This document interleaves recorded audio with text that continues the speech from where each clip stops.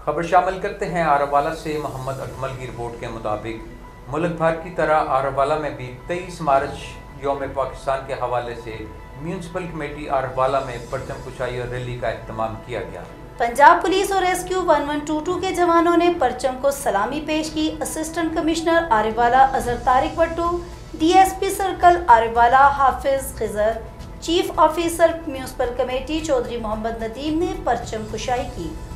जबकि assistant commissioner Azhar Tariq, Wattoo DSP circle Arabwala, Hafiz Khizar Zaman की क्यादत में म्यूनसिपल कमेटी अरबवाला से जिनात चौक तक रैली निकाली गई।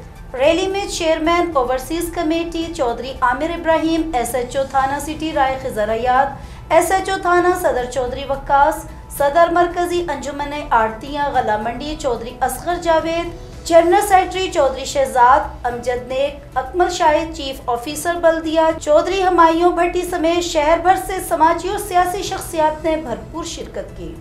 इस मौका पर एलियट फोर्स ट्रैफ़िक पुलिस और पंजाब पुलिस के जवानों ने रैली के हमरा ड्यूटी फराज अंजाम दिए।